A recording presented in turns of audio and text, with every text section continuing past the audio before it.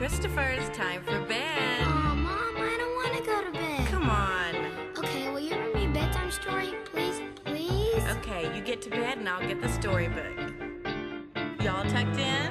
Yeah. Here we, we go. go.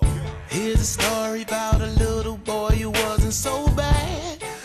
Smiling, but he feeling so sad. As a young lad, he lost his dad. Mama didn't have much, but thankful for the things she had. Mom and sister was the parenting system. Tucked him in his bed at night. Good night. Then on his head, she'd kiss him.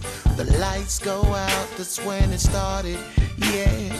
Little Christopher became very scared. So that when his closet things began to move back and forth, that of course all in his head. Don't need no sugar for bed. What's the meaning?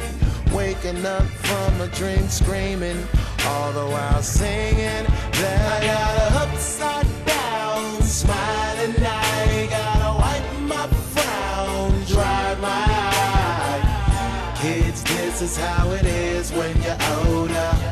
Wake up and you're bipolar.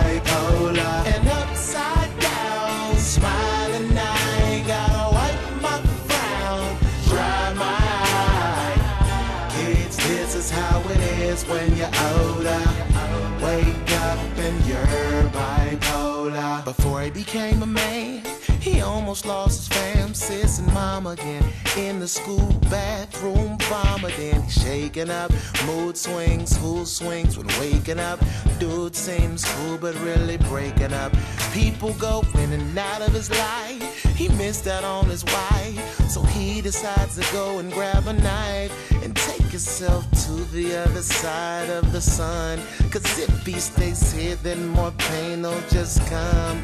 Take him away from this. If he could escape from this, he'd even pay to make this his last day. Then a ray from the sky shined on him, and God smiled on him. Now the whole world gets to hear him say that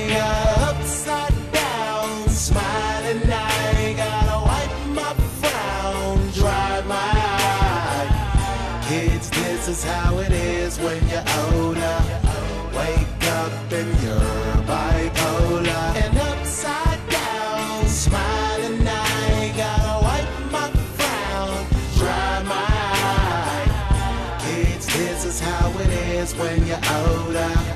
Wake up and you're bipolar. Pull yourself about it, even if you doubt it.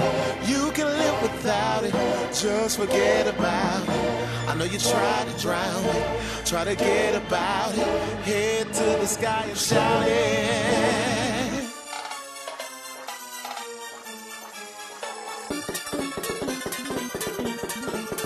I got a upside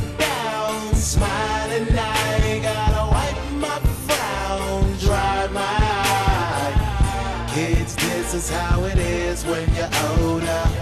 Wake up and you're bipolar. And upside down smiling eye. Gotta wipe my frown, dry my eye. Kids, this is how it is when you're older. Wake up and you're bipolar.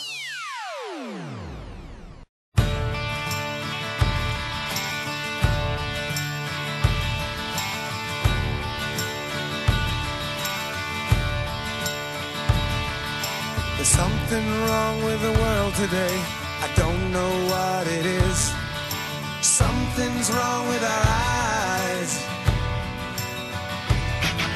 We're seeing things in a different way, and God knows it ain't His.